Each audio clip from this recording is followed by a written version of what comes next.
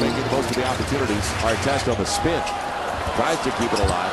And will stay with the play in a big way. If He turns right into the defense, but stays after it and picks it up, throws it in. Three-point opportunity, and the Lakers need a few of those. It's not always pretty, is it?